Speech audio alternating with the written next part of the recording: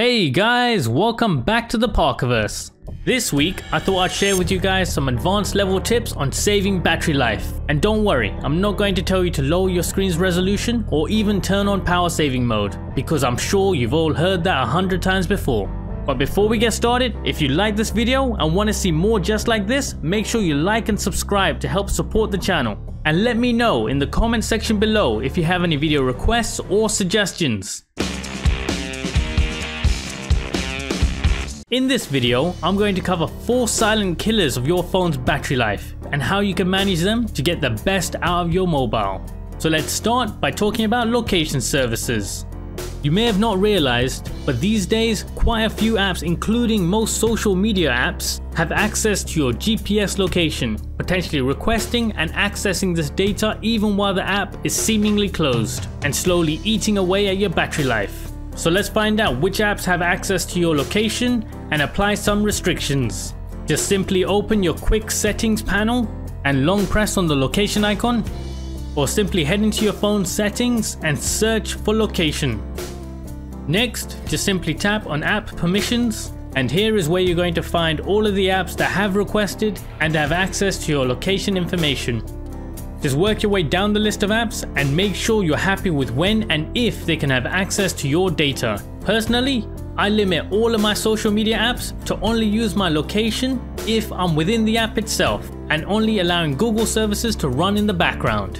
While we're on the topic of location, a really effective tweak is to head into improve accuracy and disabling Wi-Fi and Bluetooth scanning.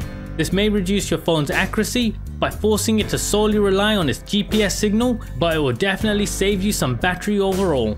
Now as a bonus tip, for those of you with a Samsung phone, you'll be able to use Bixby routines in order to automatically turn on and off your location settings whenever you open or close an app, such as whenever you're using Google Maps.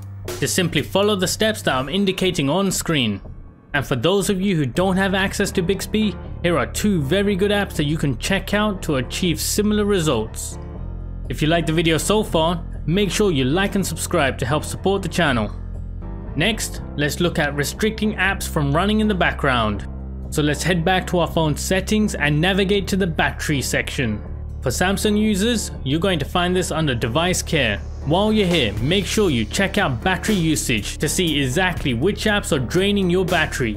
But the option that we're actually looking for is called sleeping apps. If you can't find this outright in your battery settings, try searching for it. This list will allow you to manage the apps that will be put to sleep whenever you're not using them, meaning that they won't run in the background and you may not receive any notifications from them. But if you want to take this one step further and fully restrict the background activity of an app, head to the settings app section, select an app, head into battery and disable allow background activity.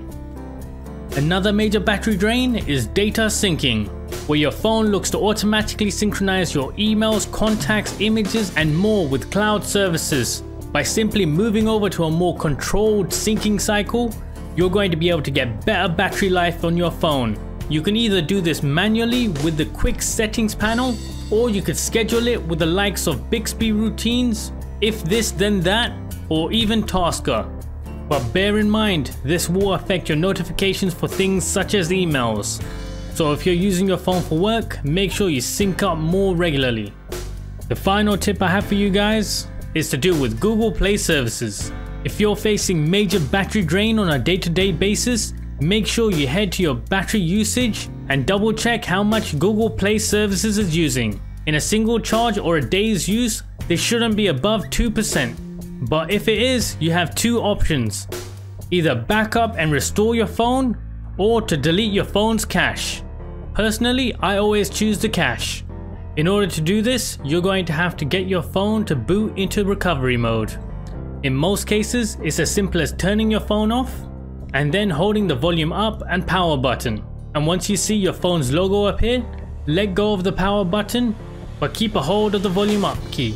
Now just simply navigate using the volume up and down key until delete cache partition is highlighted.